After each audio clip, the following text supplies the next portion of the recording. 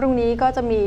พิธีนะคะซักซ้อมริ้วขบวนในพระราชพิธี เพราะฉะนั้นมาดูเรื่องของการจราจรกันบ้าง กองบังคับการตำรวจจราจรนะคะก็แจ้งปิดการจราจรบริเวณรอบท้องสนามหลวง เพื่อซักซ้อมริ้วขบวนในพระราชพิธี ตั้งแต่คืนวันนี้นะคะจนถึงวันที่ 7 ตุลาคมนี้ค่ะ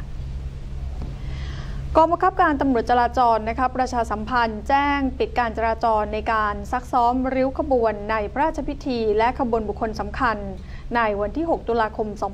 2560 ตั้งแต่เวลา 22นาฬิกาถึงวันที่ 7 ตุลาคม 2560 เวลา 24นาฬิกาจึงขอประชาชนหลีกเลี่ยงเส้นทาง โดยการซักซ้อมริ้วขบวน จะมีการปิดการจราจรดังนี้ บริเวณรอบท้องสนามหลวง ปิดเกาะรัตนโกสินทร์ถึงสอนอพระราชวัง ถนนอัสดาง ตั้งแต่แยกผ่านพิภพถึงแยกพระพิพิธ ถนนราชินี ถึงใต้สะพานสมเด็จพระปิ่นเกล้า สำหรับถนนพระอาทิตย์เปิดใช้การเดินรถช่องทางเดียวนะคะ จากใต้สะพานสมเด็จพระปิ่นเกล้าไปแยกบางลำพู และในช่วงเวลาดังกล่าว แนะนำให้มีการหลีกเลี่ยงเส้นทางดังต่อไปนี้ ถนนสาทรถนนเพลินจิต ถนนเจริญกรุง และเส้นทางด่วน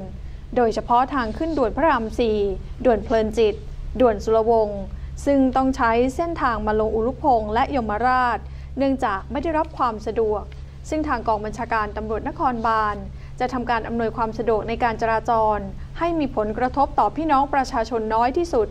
และขออภัยในความไม่สะดวก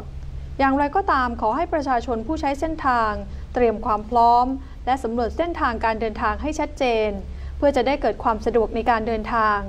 หากต้องการสอบถามข้อมูลเส้นทาง แจ้งอุบัติเหตุจราจรและข้อมูลสภาพการจราจรเพิ่มเติม สามารถสอบถามได้ที่ ศูนย์ควบคุมและสั่งการจราจร หมายเลขโทรศัพท์